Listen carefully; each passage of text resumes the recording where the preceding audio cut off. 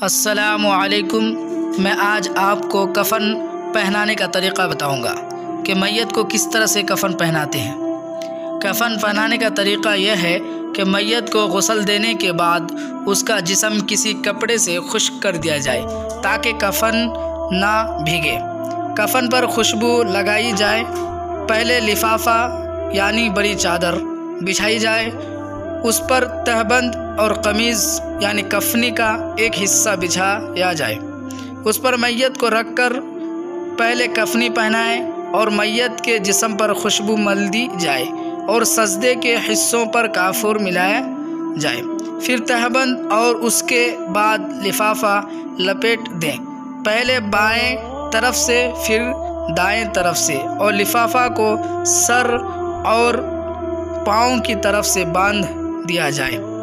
عورت کو کفنی پہنا کر اس کے بالوں کو سینے کے دونوں طرف ڈال دیا جائے اور اورنی پیٹھ کے نیچے سے لا کر سر کے اوپر سے منہ پر نقاب کی طرح ڈال دی جائے۔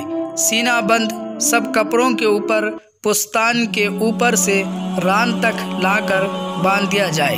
کفن کو کسی جگہ سے سلایا نہیں جائے گا۔ قمیض میں نہ آستین لگائی جائے گی اور نہ چاک وغیرہ، بلکہ ایک چادر کی طرح ہوگی، جس کو درمیان سے پھاڑ دیا جائے گا تاکہ گلے کے اندر آ سکے۔ کفن پر خاک شفا یا انگلی کے اشارے سے کلمہ طیبہ لکھنے وغیرہ کا طریقہ بعض جگہ رائج ہے، اس میں کوئی حرج نہیں۔ اس کی برکت سے ضرور میت کو فائدہ ہوگا۔ غسل و کفن کے بعد جس قدر جلد ہو سکے نماز جنازہ اور دفن کا انتظام کیا جائے۔ دفن میں دیر کرنا بہت نامناسب ہے۔ حضور علیہ السلاۃ والسلام نے فرمایا، جنازے کو جلد لے جاؤ، کیونکہ اگر وہ نیک ہے تو بھلائی ہے جس کی طرف تم اسے لے جا رہے ہو۔ اگر برا ہے تو بری چیز ہے۔ جنازہ اٹھانا، نماز جنازہ میں شریک ہونا اور جنازہ کے ساتھ چلنا، یہ سب کام ثواب کے ہیں۔ اگر جنازہ کسی متقی یا عالم دین کا ہو، تو ان کاموں کا ثواب نفلی نماز سے بھی زیادہ ہے۔